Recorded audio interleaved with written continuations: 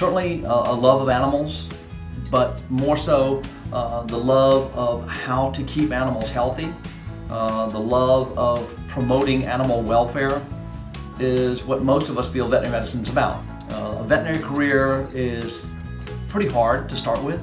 Uh, you've got to have excellent grades through college. Most veterinary schools nowadays are accepting kids with a 3.5 and higher. So you've got to be an A student. Growing up, I had guinea pigs, I had chickens, I had ducks, I had uh, hamsters and parakeets.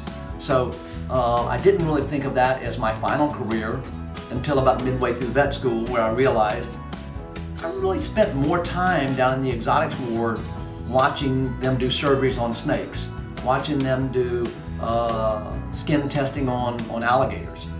That just cued in my fancy to a point where I need to study more on those fields and learn about them because that's something I want to do.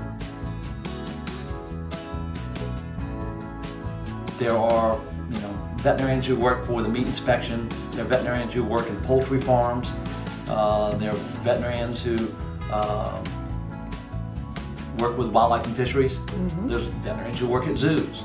Um, so there's a lot of variety that you can pick up on during vet school.